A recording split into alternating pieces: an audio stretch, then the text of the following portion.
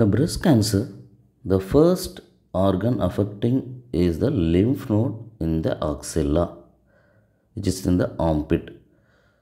In the group of the lymph node, the first lymph node which is generally affecting called as sentinel lymph node.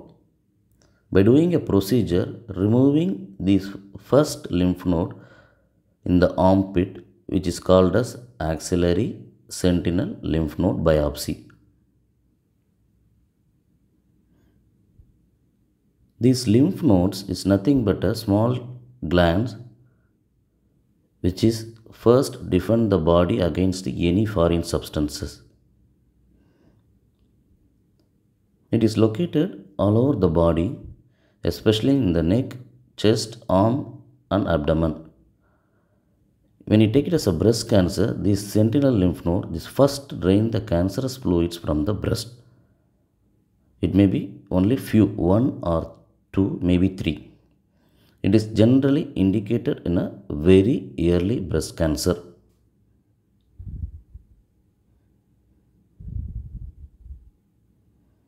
So, how the sentinel lymph node biopsy was getting done?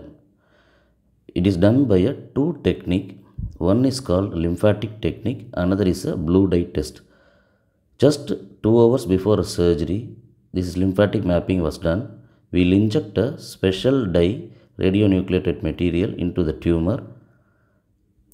Just see, this will travel through the lymphatics like this and get accumulated in the node. We make sure whether the node is uptake in the nodes by doing a special scan which is called as lymphatic mapping.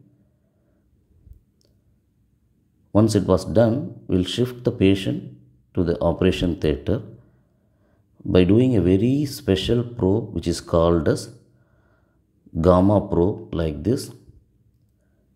It costs no radiation if at all very minimal. By doing this scan, will exactly identify and shifted to the operation theatre will inject a blue dye to the tumor or around the nipple.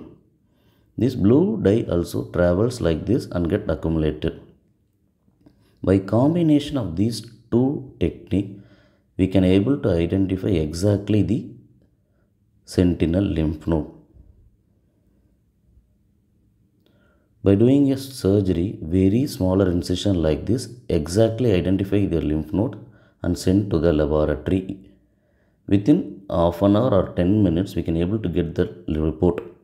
Once it can be done for either tumor removal or even for the breast removal. If the report is positive, then only we'll remove the rest of the lymph nodes. By doing the sentinel lymph node biopsy, the real advantage, if the lymph node is not spread, as a surgeon, we never remove the rest of the lymph nodes. That is a real advantage for a cancer patients. By doing this biopsy, the patient will have benefit like this. Definitely decreases arm swelling, less pain, less arm stiffness and good quicker recovery and good quality of life to our breast cancer patients. Thank you.